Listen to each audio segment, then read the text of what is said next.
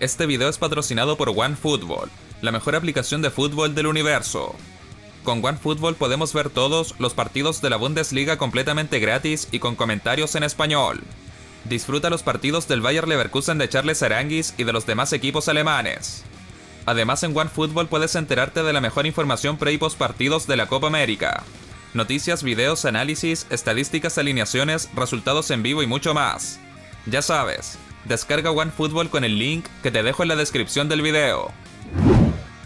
La bomba explotó este domingo, porque la calma de la selección chilena tras el triunfo ante Bolivia en la Copa América se rompió, debido a que la Conmebol inició un sumario sanitario en contra de la Roja.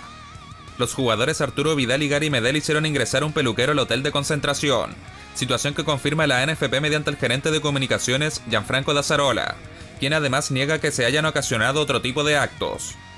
Aquí el único acto de indisciplina que se ha cometido es el ingreso de un peluquero, que contravino la burbuja sanitaria establecida por la Conmebol. Se trata de un peluquero que le cortó el pelo a Medel y a Vidal, que venía con PCR negativo, y pese a no haber sido permitido su ingreso, subió igual a cortarle el pelo a los jugadores. Ese es el único acto de indisciplina. El resto no sé de dónde lo han sacado. No sé su fuente, no sé su origen. Hoy hay entrenamiento con normalidad. Lazarte va a la conferencia de prensa. Si le tienen que hacer preguntas, háganselas todas. La situación aquí es esa. Los jugadores van a ser multados por este acto de indisciplina que pone en riesgo o puso en riesgo a toda la delegación. Pero insisto, el peluquero venía con PCR negativo, indicó Gianfranco Dazarola. Por su parte, el diario La Tercera aseguró, Lazarte estaba molesto con el tema. Se lo hizo saber a los jugadores a quienes les pidió mayor responsabilidad. La multa que impone la Conmebol por romper las burbujas sanitarias llegan hasta los 30 mil dólares.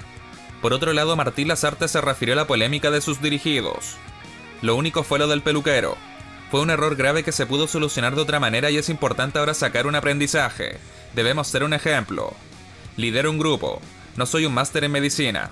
Lo que a mí me toca es plantear algunas pautas se cometió un error. Sobre este hecho también se refirió minutos antes al capitán de la Roja, Claudio Bravo.